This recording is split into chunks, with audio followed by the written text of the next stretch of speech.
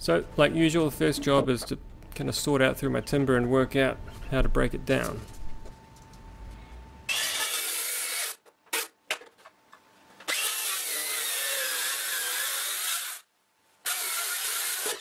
anyone who didn't see, I've got a new uh, table saw and this massive sliding table makes it super easy to uh, straighten out a board. Um, just run it along the, the, sliding table, run it along the fence and you've got a couple of straight boards. That made it easier to thickness up the timber and then once that was to the right thickness I could go back and actually square up the edges with the sliding table and the fence. Really fast way to uh, machine up timber.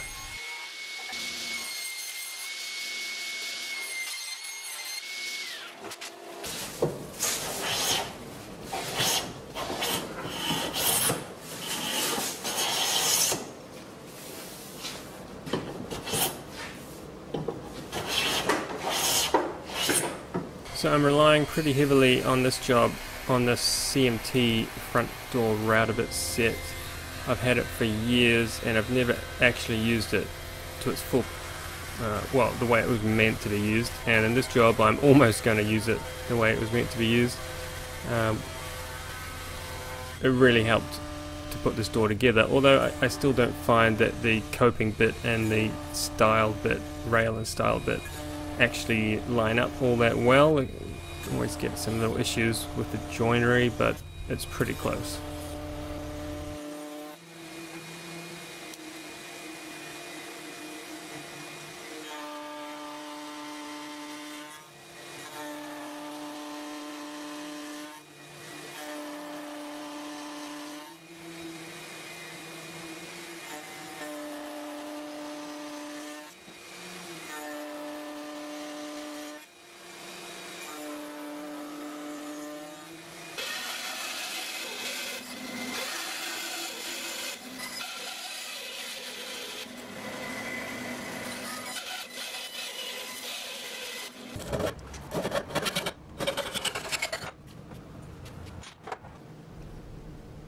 So with all the pieces cut and molded, I can mark out for the mortises. Now I was planning to use my benchtop mortiser, but it wouldn't go deep enough the way I wanted to do it, so I ended up just setting up my drill press and uh, drilling a bunch of holes.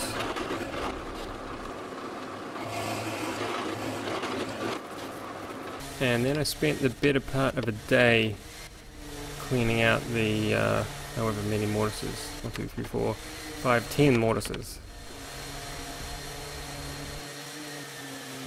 Saying earlier about the coping bit not quite doing its job properly, something was off by about half a mil, so I had to just trim out inside this coped area just a little bit, but ended up having to take quite a bit out just for the size of my 4 mil uh, uh, chisel but anyway, it made things work and it was good.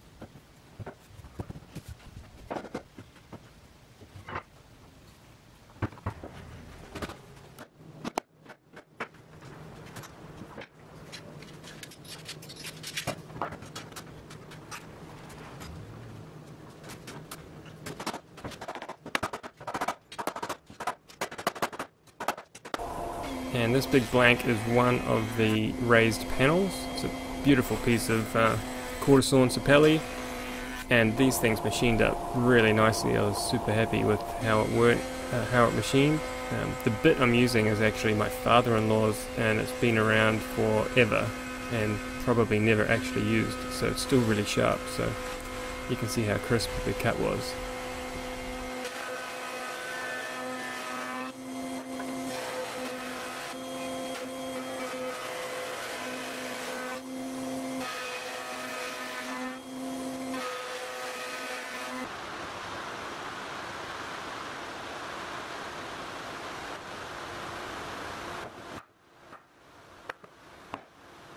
Section of the door having glass panels, I needed to rip off some pieces of the moulding that were integral to the rail and stiles so I could get the glass in. Um, so that was a little bit of playing around. I needed to work out the start and stop position of my blade on the new saw so I could do some stop cuts and but anyway it worked out pretty easily.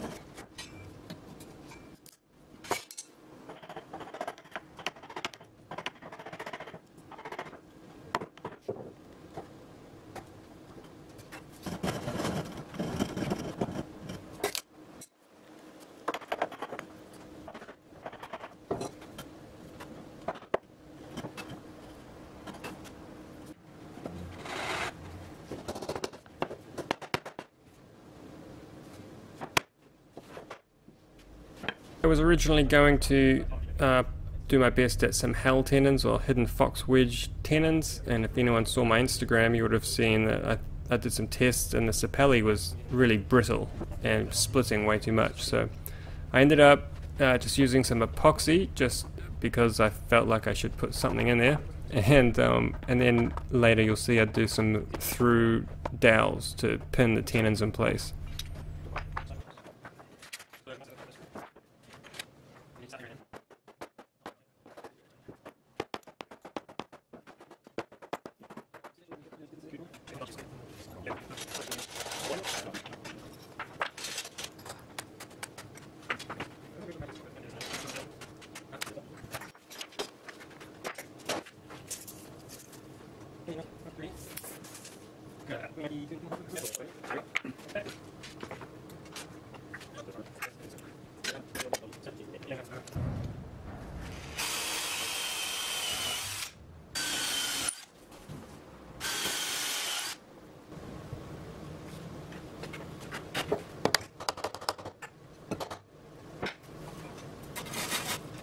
So that really just left making up the glazing beads to go back around the glass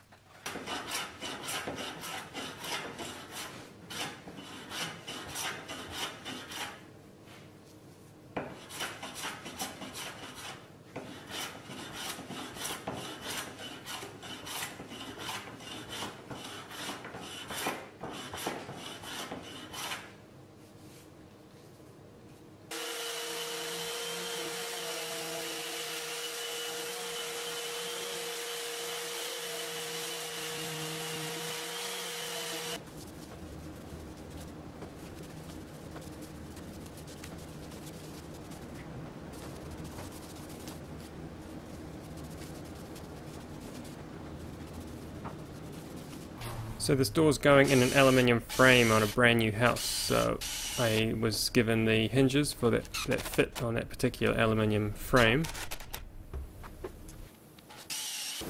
Right, so I don't usually like to show off things when they've only got a primer on them, because they always look a bit patchy and a little bit shit. Um, but in this case, the client's going to do the finish uh, painting, so my job is just to get it to site now, well, obviously I've still got to put the glass in, then get it to site uh, and also put the lock in. So while you're getting over your shock of me painting the Sapele, bear in mind that Sapele is regarded fairly universally as an excellent door timber and especially external door timber. Uh, you, you, may have seen recently the Wood Whisperer uh, actually made his outdoor gate uh, with Sapele. Of course, he clear coated it. Um, So it's a matter of the client asking for an excellent quality piece of um, furniture, uh, and and I'm making something that's going to last. And they specifically asked for something that was going to last them. Um, you know, this is going on a brand new house, and they want it to last forever.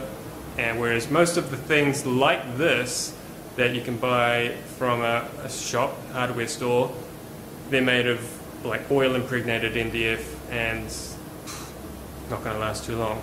And saying that, this is going in a fairly sheltered area, um, but it's still, you know, excellent quality work, and the paint finish doesn't really bother me. I know that it's a really good quality job under the underneath that, and I think that's what matters.